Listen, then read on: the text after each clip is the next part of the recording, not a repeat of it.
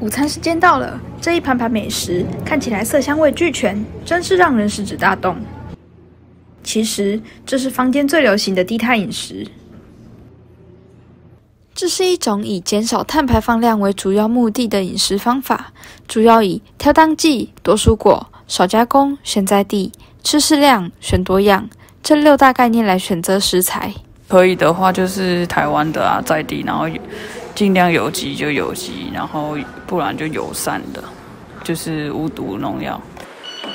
如果民众在家也想自己做低碳料理，只要在超市的生鲜区中找到印有农产品履历的商品，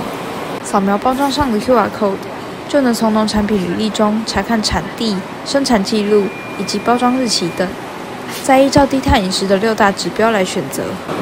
此外，挑选印有碳足迹标签的商品，可以从标签上的数字了解商品从生产、包装到回收处理整个生命周期中所产生的碳排放量。还我不清楚你刚刚讲的那个标签，所以我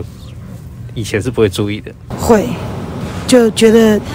呃比较干净啊，比较卫生。从日常饮食下手，透过低碳饮食法，除了健康以外，在环保上也能更尽一份心力。记者王婉瑜、蔡宇伦采访报道。